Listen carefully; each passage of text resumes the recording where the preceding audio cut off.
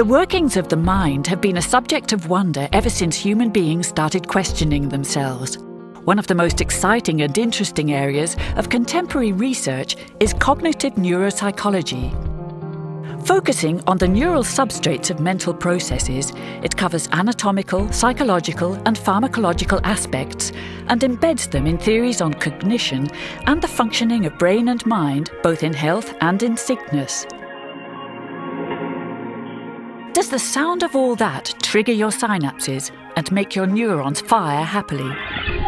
Then meet an interesting bunch of people and be introduced to a very promising opportunity the William James Graduate School at the VU University Amsterdam and its two year English Research Master's degree course in cognitive neuropsychology. We study the mind from three perspectives the cognitive modeling, the cognitive theories, neurological patients, and neuroimaging techniques.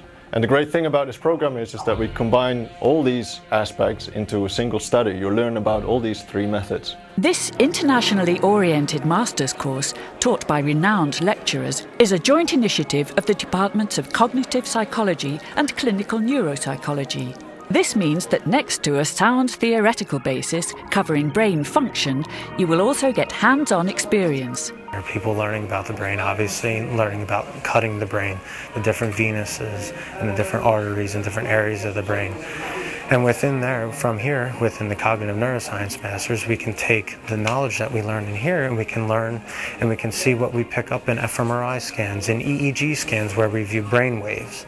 It's a very, very unique experience. The excellently equipped laboratories allow you to explore the intricacies of the brain you will learn how to set up experiments with eye trackers and state of the art brain imaging technology, such as EEGs and fMRIs. It's fun and it's awe inspiring to scan a brain, to feel a brain, and be able to analyse it. You will work on assignments like this with your peers. The opportunity to meet a wide, diverse group of people, uh, whether it be uh, my professors, my fellow students, or just random people that I've met along the way. It's all been interesting, it's all been unique, and it's all been a learning experience. Be sure that discussing your findings with them is never boring. In the students' workroom, you will spend many inspiring hours prepping lecturers and eventually developing your own research project, leading to your master's thesis. The lab is one facet of your practical training. The clinical environment is the other. You will meet patients and analyse their cases, thereby subjecting theories to real life testing. Bridges are built between mind and brain, between fundamental cognitive research and clinical relevance.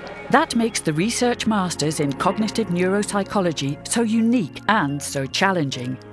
The quality of education obviously is incredible.